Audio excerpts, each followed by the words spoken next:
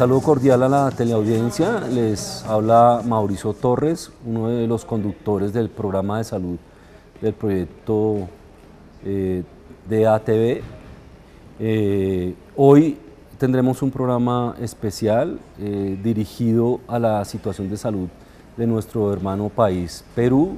Tenemos un invitado especial que es Alexandro Saco, quien es el coordinador nacional de la organización Foro Salud, quien es abogado de profesión y eh, es un activista por el derecho a la salud, eh, tanto en su país como a nivel de América Latina.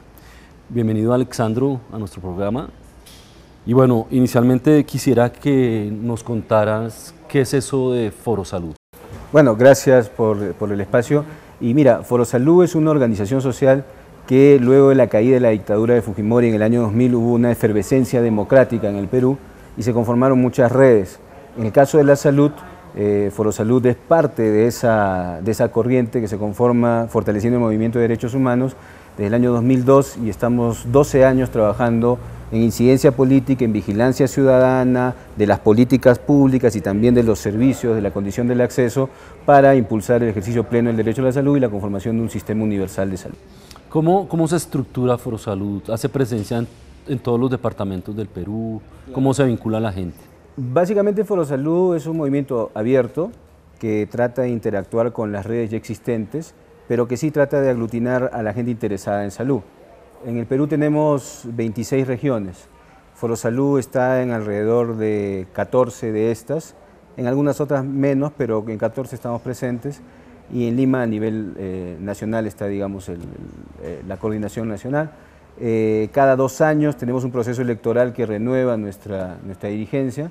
Somos alrededor de 45 miembros del comité directivo, a mi cargo está la coordinación en este periodo, y aprobamos una declaración política en nuestra Asamblea Nacional, que reúne alrededor de 800, 1000 personas. Y esta declaración política, aprobada a través de discusiones regionales y nacionales, es la que nos guía en el periodo de dos años de articulación y gestión. ¿La gente cómo participa? ¿Qué hace? ¿Cómo promueve la garantía del derecho a la salud? La gente participa de diversas maneras. Por ejemplo, eh, nosotros hacemos un seguimiento constante a las políticas de salud, a los problemas que afectan a los derechos de la gente en salud, al interés privado que abarca también ahora muchos campos de la salud, y eso implica un movimiento que tenemos unas reuniones semanales en las cuales acordamos acciones de la semana. Por otro lado, eh, tenemos acciones de vigilancia de los servicios con organizaciones sociales de base, sobre todo promotoras, personas con discapacidad, adultos mayores que se organizan y trabajan de diversas formas la vigilancia y que eso, los resultados de la vigilancia nos sirven para la incidencia. Y también organizamos lo que podríamos llamar asambleas locales en las diversas regiones del país, donde convocamos no solo a los interesados en salud, sino a todos los que tienen que ver con los derechos humanos, feministas, etcétera, para poder establecer momentos en los cuales llegamos a acuerdos y tratamos de implementarlos en relación a nuestra declaración Es una participación abierta, el que quiere entrar a Foro Salud es una cuestión de voluntad y sobre eso desarrollamos acciones de incidencia política. y también tienen una organización por temas. Exacto, también hay... ¿Cuáles son los temas más relevantes? Que Aparte del tema de, de, la organización territorial, hay un área temática, áreas temáticas, ¿no? Está ahí, por ejemplo, el área de personas con discapacidad, hay una mesa de discapacidad, nuestra, nuestra subcoordinadora nacional es una líder de personas con discapacidad, hay área de personal de salud, tenemos un grupo de médicos jóvenes que está entrando a discutir todos estos temas en relación a una atención con dignidad y también con sus derechos salariales, etc. Hay una mesa de adultos mayores que ve toda la problemática de la salud y los derechos de los adultos mayores, hay una mesa de medicamentos que también es, es muy activa, hay una mesa de promoción de la salud, hay una mesa de derechos sexuales y reproductivos que básicamente está ligada al movimiento feminista, eh, y así podríamos decir, TBC, por ejemplo, VIH, ¿no? son organizaciones que están muy activas desde sus propias lógicas y que Foro Salud más que nada es no una estructura en sí misma, sino Foro Salud es una, una red que aglutine esos intereses. ¿Cuál es la capacidad de incidencia de Foro Salud en las decisiones de salud en Perú? Mira, yo diría que la corriente que de alguna manera trata de representar Foro Salud es la que desde los años 2000, de inicios de este siglo, ha introducido conceptos que ahora ya nadie puede negar, así sea neoliberal, de derecha, de centro, lo que fuese. Por ejemplo, Foro Salud ha sido quien ha sentado en el país el concepto de derecho a la salud, sin ninguna duda. Que esto lo interpreten de otra manera los que gobiernan otros sectores es otro asunto, pero el concepto de derecho a la salud en su amplitud es un logro de Foro Salud. Otro concepto que Foro Salud ha introducido es el de determinantes sociales de la salud. En el Perú no se hablaba de determinantes sociales de la salud y en nuestra tercera conferencia en el año 2006, en la que tú participaste, ahí se estableció un eje de eh, temas de, determinantes sociales de la salud. Y en el campo mismo de la aplicación de las políticas, el problema es que como nosotros estamos en un sistema político eh, de responsabilidad limitada del Estado, neoliberal, de políticas focalizadas, entonces el gran salto hacia políticas universales todavía no lo hemos dado en salud, pero sí nuestra presión y nuestra incidencia ha ido introduciendo, eh, digamos, más derechos en algunos campos, ¿no? Por ejemplo, el tratamiento de la hemodiálisis fue un logro que se hizo con las redes de pacientes. El avance en el tratamiento universal del VIH, que ya existe. Hemos apoyado leyes como la de las personas con discapacidad en la recolección de firmas a través de iniciativa ciudadana, la ley de derechos de los usuarios de los servicios de salud que también ya se ha aprobado. Eh, y así, podría mencionar varias más en, diferentes aspectos. Y también otro asunto importante es que participamos en los espacios formales del sistema de salud, que son muy limitados, pero están ahí y Foro Salud participa en elecciones y trata de mantener la presencia en estos espacios. Ya, digamos, eh, en ese sentido, eh, Foro Salud está constituida ya con una organización con una legitimidad muy importante, con una representación importante, con una alta participación y digamos que el gobierno eh, le es difícil no reconocer como una voz importante a Foro Salud. Yo diría que en el campo de la salud, Foro Salud sí es, es la red, es la red que en el Perú eh, de hecho, eh, está detrás. Eh, las gestiones del Ministerio de Salud, mm, e, efectivamente tenemos una relación con ella, con las tensiones del caso, como la última que ha sido muy tensa. Tenemos un nuevo ministro de Salud en el país. Pero sí, yo diría que este trabajo de miles de personas que han pasado por Forosalud voluntariamente en rincones diversos del país, en sus temáticas específicas, de pacientes, de adultos mayores, de personas, o sea, Forosalud es una corriente, una voluntad y un ánimo. Y ese ánimo está instalado en el sistema peruano de salud y yo diría que en el sistema de, de participación y dentro del movimiento de derechos humanos también nuestra presencia es ya ineludible y nuestro reto principal, creemos nosotros, es que esto persista. Independientemente de las coyunturas políticas, el reto es que una organización, un foro de, esta, de estas características abierto, plural, diverso, persista en el tiempo. Eh, pero entonces, digamos, frente a cualquier tema de salud en el país, foro siempre es buscado para saber la opinión de foro. Yo diría que sí, yo diría que tanto en los temas legislativos, en el Congreso de la República, ahí nosotros participamos, somos solicitados de opinión, tenemos participación eh, de Foro Salud o también de las organizaciones que conforman Foro Salud. O sea, hay niveles, ¿no es cierto? Hay organizaciones feministas que tienen más autonomía, otras organizaciones como el tema de los adultos mayores, pero que eh, también son parte de, Foro Salud y algunas, veces de manera directa. Y en relación al, Ejecutivo, ahí sí creo que es más directo porque nosotros estamos representados en el Consejo Nacional de Salud a través de procesos electorales y hay una, participación directa en vigilancia, seguimiento, opiniones, etcétera. Ya, desde tu experiencia, digamos, ¿cuál es, eh, qué sería lo que explica que hoy en día Foro Salud sea un actor político relevante en el contexto de salud eh, peruano? Yo creo que la necesidad de participar en un sistema político como el peruano, que se parece al mexicano, al colombiano, al chileno, en donde los espacios de representación en realidad no representan. Los espacios, en ese contexto, los espacios de participación se fortalecen.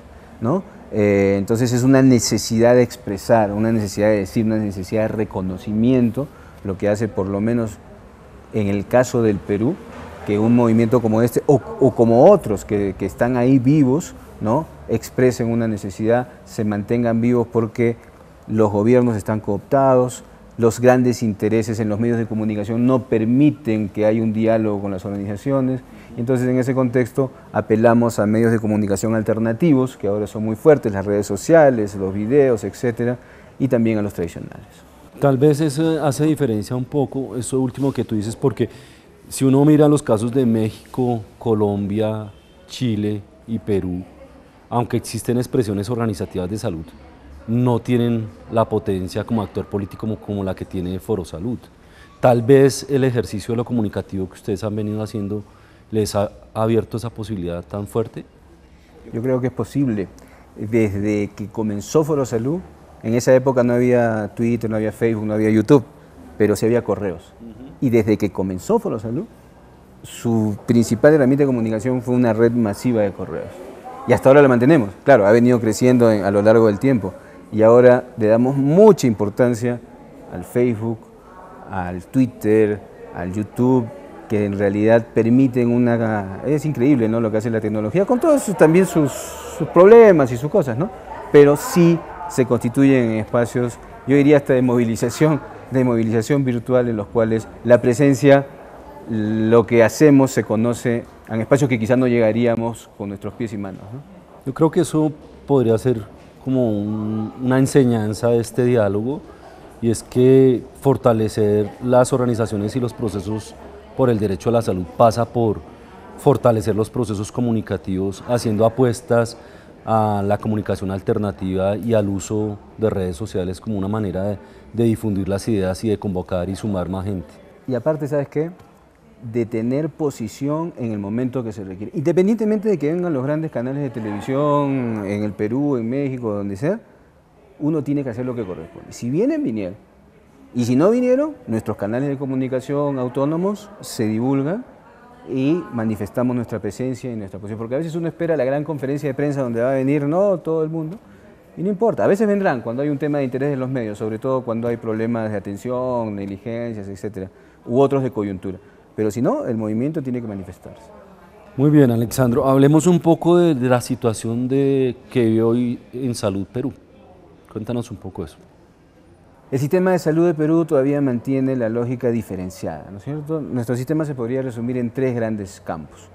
Una seguridad social a través del aporte contributivo, que en la teoría brinda todas las atenciones, pero en la práctica solo un tercio de las personas afiliadas a la seguridad social puede gozar de estas y de manera no tan buena. Un tercio, ahí son 10 millones de personas en la seguridad social un seguro eh, focalizado de pobreza que tiene alrededor de 12 millones de afiliados, cuya condición de acceso, a pesar de que se está tratando de abrir un poco, todavía es la eh, identificación a través de una base de datos del Ministerio de Economía, entonces la persona va a un establecimiento de salud y es la computadora la que le dice si tiene derecho o no a un plan de atención, no es su condición de humano, sino la computadora finalmente, que efectivamente está creciendo en su presupuesto, pero todavía las brechas en relación a una atención integral son quizá de 10 veces su presupuesto. Y el gran sistema de salud privada, que en montos per cápita tiene pues quizá de la seguridad social dos, tres veces más, y no, más, cuatro o cinco, y de los asegurados al seguro público 10, 10 veces más. Pero además, estos asegurados a la seguridad social y asegurados al seguro público, como no son cubiertos integralmente, tienen que gastar de bolsillo, y eso hace que el principal financiador de la salud en el país sea el gasto de bolsillo de la gente, a pesar de que puede tener algún tipo de seguro. Eso genera inequidad, eso genera empobrecimiento, eso genera desigualdad. Es, digamos, la radiografía central del sistema de salud y aparte hay una brecha de oferta pública enorme, una brecha de personal de salud, una brecha de acceso a medicamentos esenciales y genéricos y el negocio de la salud se multiplica en realidad por todas partes. Ya, pero para aclarar un poco, Alexandro, es decir, eh, porque ese modelo es al parecer muy similar al de Colombia. Vamos, hay un régimen contributivo donde están los trabajadores formales. Hay un régimen subsidiado, que son estas personas que reciben subsidio. Y hay, digamos, un espacio para quienes tienen alta capacidad de pago de tener un seguro privado. Pero, digamos, en Perú eh, hay personas que pueden estar en dos aseguramientos o cada una tiene un solo aseguramiento? En principio eh, debería ser un solo aseguramiento. En el caso donde puede haber dos es el de los del contributivo de la seguridad social, porque hay una ley que abre la posibilidad de que este asegurado de la seguridad social pueda tener un plan de las EPS, un plan básico y si quiere más tiene que pagar de su bolsillo. Pero en principio es afiliados a cada, a cada sistema. O sea, la segmentación es en esos tres espacios, contributivo, subsidiado y un régimen privado. Básicamente. Pero digamos que el, elemento común es que todos tienen que hacer un gasto de bolsillo. Así es. Todo. Que eh, incrementa los costos de la atención. Por eso el principal. Personas. Exacto, por eso el principal financiador. Y paradójicamente, quien más gasta de bolsillo es el seguro subsidiado. O sea, el más pobre es el que en promedio gasta más de bolsillo. Ahora, se están haciendo los esfuerzos financieros de aumentar el presupuesto al sistema de salud, es cierto. Pero como el sistema de salud está desordenado, fragmentado y no ha sufrido un cambio de eficiencia, entonces es como echar más gasolina a un carro que gasta mucho. Y eso es lo que está pasando. Entonces el gobierno ha planteado una, reforma de la cual te puedo comentar y, y, nosotros creemos que no es tal, sino más una adecuación al sistema de seguros. Hablemos un poco entonces de cuál es la propuesta de reforma que tiene el gobierno y cuál es la propuesta que viene impulsando Foro Salud el gobierno lo que ha planteado ha tenido facultades legislativas, 23 decretos leyes han sido producidos por el gobierno y lo que básicamente ha hecho es adecuar, mejorar algunas cuestiones de este sistema fragmentado y segmentado que impulsa el gasto de bolsillo. No ha tomado decisiones, por ejemplo, de universalización real, por decir, del primer nivel, de universalización real de algunas enfermedades de alto costo, no hay ninguna ruta financiera, o sea, en, estos, en esta reforma no hay nada que tenga que ver con la posibilidad de incrementar el financiamiento público o contributivo, la seguridad social no entra en esta reforma a pesar de una u otro decreto, entonces la seguridad social se mantiene con gran financiamiento, pero con una estructura burocrática que hace invivible e insufrible la atención para, para 10 millones de, personas. Y quizá lo que más pueda verse interesante es la conformación de redes integradas que se está planteando, pero que todavía no tiene claridad, porque si uno mantiene la diferenciación entre planes diversos, entonces una red integrada no tendría, no tendría sentido. Y el otro fuerte de esta reforma es la privatización del sistema público hospitalario. Se ha comenzado ya con la seguridad social hace unos años, entregando hospitales a empresas internacionales, españolas en este caso, con rangos de rentabilidad enormes, de 30%, por ejemplo, cuando en España tienen 7 u 8% a través de asociaciones público-privadas. Y el gobierno ya ha comenzado con el sistema público del Ministerio de Salud. 29 grandes hospitales están entrando en esta lógica en la cual el Estado es básicamente quien está poniendo el capital, la infraestructura y el privado se está haciendo de la gestión del mantenimiento, del servicio de apoyo al diagnóstico y los laboratorios y en algunos casos del servicio asistencial. Lo que nosotros decimos es que eso tiene que paralizarse y si en todo caso el gobierno frente a una falta de oferta quiere, hacer trabajar, quiere trabajar con el sector público, lo mínimo que debe, hacer, debe haber es una regulación adecuada. Pero lo que debería haber en realidad es un fortalecimiento decidido del sector público. Esa es la reforma, en resumen, que está planteando el gobierno. Ya, ese es un punto nodal de discusión porque, digamos, eh, lo que se ubica es que... Eh, la deficiencia de redes públicas de servicios hace que se contrate con el sector privado, ¿cierto? Y además que entre esta modalidad de público-privado, ¿cierto? En una suerte de, concesión del Estado para eh, los actores privados para que tomen estos escenarios públicos. Pero digamos, la pregunta ahí, Alex, es, ¿cuáles serían las alternativas? Porque es cierto que hay una eh, limitación en la disponibilidad de redes públicas de prestación de servicios. Entonces, digamos, eh, para avanzar en otra línea, ¿cuáles serían las alternativas? A ver, es cierto, o sea, el sistema público, la oferta está rebasada y en el privado también ya se está rebasando. Entonces, eh, la seguridad social, por ejemplo, ya terceriza servicios, contrata servicios privados por alrededor de 400 millones de dólares al año y en realidad la diferencia entre el servicio de las clínicas privadas y de la propia, del aparato de la seguridad social no es mucho, no ha cambiado el grado de satisfacción ni el tiempo de espera, por un lado. Pero el tema de fondo, exacto, ¿cómo hacemos? ¿No? Entonces ahí hay que invertir mucho, eso es una idea que tiene que quedar clara. Y si la inversión va a ser pública, básicamente, lo que tendría que haber es una prioridad para las redes de servicios del nivel intermedio, no los grandes hospitales ni el primer nivel, sino hay una necesidad de servicios intermedios con un grado de especialización. Eso debería ser básicamente público. Y si en todo caso para grandes infraestructuras se requiere una participación privada o en algunos servicios, nosotros creemos los no clínicos y quizá a lo más algunos servicios de apoyo al diagnóstico, estos tienen que darse pero con regulación y legislación. Porque lo que se está haciendo es contratando en cada parte del país o en cada hospital nuevo con condiciones diversas.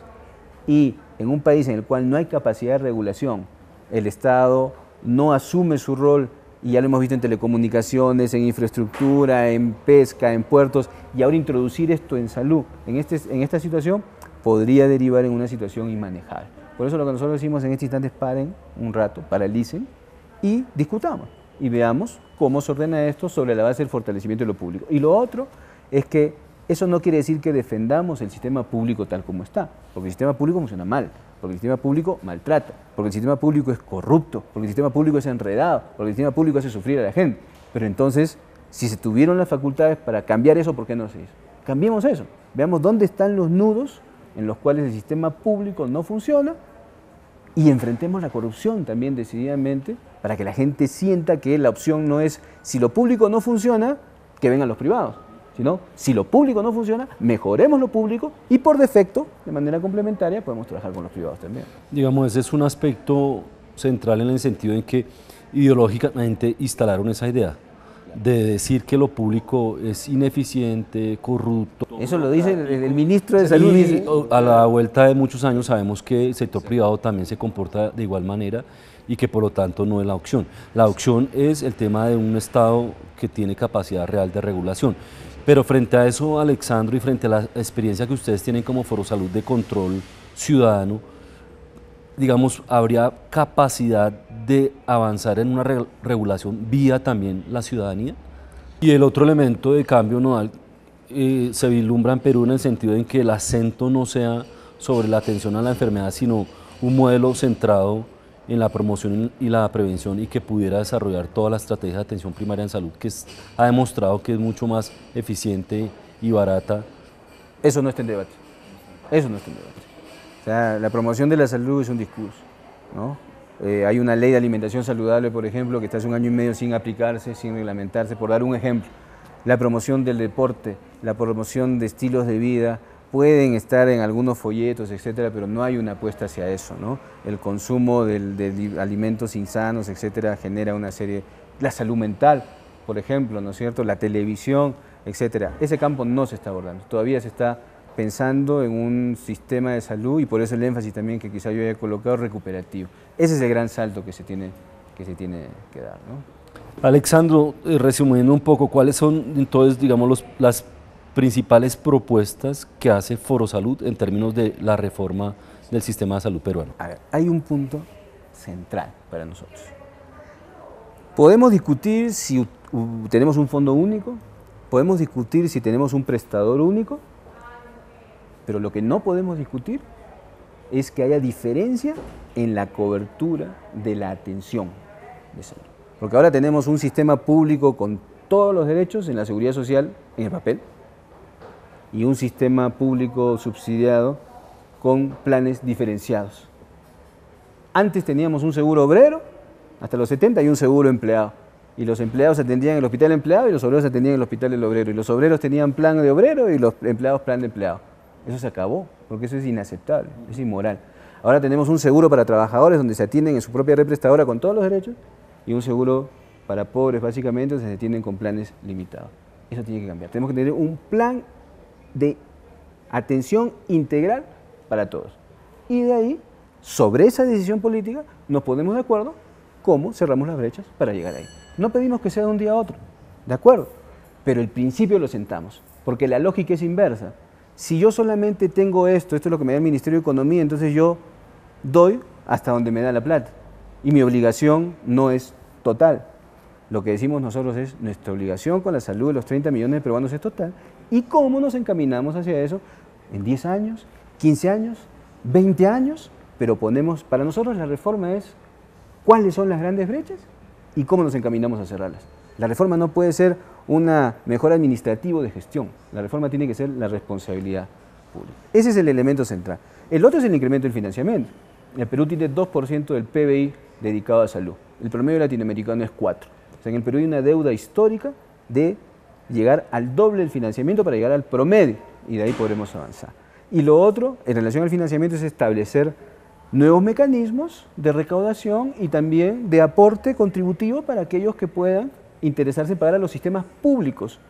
Hay que abrir los sistemas públicos, pero mejorarlos, obviamente, para que la gente esté de acuerdo. Regular el mercado, el sector privado, tener una política adecuada de medicamentos, por ejemplo, avanzar hacia la promoción, tener redes de verdad con primer nivel hacia la orientación de la atención primaria y tener algunas políticas efectivas sobre grupos que tienen que ser atendidos como discapacidad, sobre todo como adultos mayores, por decir algunas, algunas grandes líneas.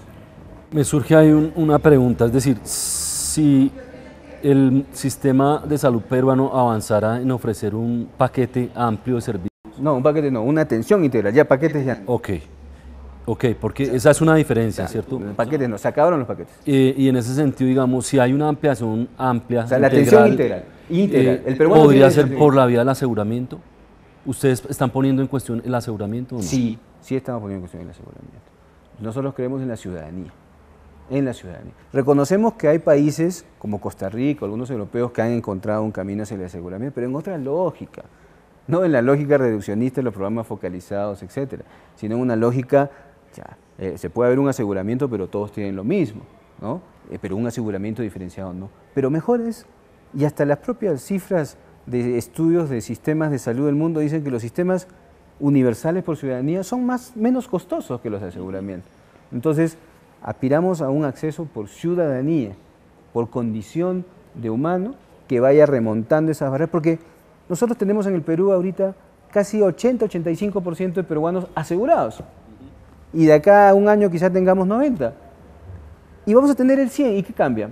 Ese problema no es el aseguramiento, el problema es el sistema no el aseguramiento. El aseguramiento podría ser un mecanismo, pero la necesidad es conformar un sistema de salud que responda a las necesidades de la población. Claro, en ese sentido, entonces la propuesta de Foro es la configuración de un sistema nacional de salud, un sistema universal público de salud. Universal, público de salud, que puede tener participación, en algunos casos complementaria del sector privado, en la prestación de algunos servicios y también en algunos tipos de gestión, pero básicamente público con control, con control del aparato público y participativo desde la base. ¿Cuál es hoy la capacidad de que Perú, la capacidad política de que Perú avance en, esa dirección de configurar un sistema nacional de salud? Eh, el gobierno de Ollanta está ya en su recta final. Él se reunió con nosotros, nosotros conversamos con Ollanta ampliamente y Ollanta Humala tenía perfecta conciencia de lo que estaba en discusión en el sistema de salud. Es más, hizo una conferencia de prensa con nosotros con la anterior gestión eh, pero bueno, no lo hizo. Hoy, eh, y ya la oportunidad está un poco gastada. Nuestra apuesta es la siguiente. Las elecciones son de acá un año y medio casi. Nuestra apuesta en estos momentos es conformar una articulación sobre la base del movimiento social, pero que también articule, converse con el movimiento de los gremios de la salud, para nosotros no absorber la gente de los gremios de la salud, sino para que ellos entiendan que lo primero que tiene que haber es el derecho, el sistema. Y dentro de esa discusión hay un componente que es el tema gremial reivindicativo salarial, perfecto. Pero el, el bosque es el derecho y ellos son una parte de ese bosque. Ahí nosotros hemos tenido, diría yo, avances que hay que medir prudentemente y yo diría de manera optimista, ¿no? La relación con los médicos del Ministerio de Salud, la relación con las enfermeras, la relación con los trabajadores, trabajadores técnicos y administrativos, es decir, porque ha habido mucha distancia y a veces dicen, no, no te metas con los trabajadores porque ellos tienen su AG, sí, pues, pero ellos son los que están dentro. Entonces la labor es la labor de ganarlos, de ganarlos a ellos y de entenderle, hacerles entender que mucho también depende de cómo ellos tratan a la gente y de que ataquen también lo que pasa en los hospitales, en los servicios, porque ellos saben perfectamente dónde está el problema y la corrupción y la mala voluntad y en el trato y se puede, y se puede hacer. Entonces nosotros vemos que una reforma para un sistema universal requiere una serie de componentes. Uno es el, de los recursos que trabajan los trabajadores de salud, que son los únicos que son vivos.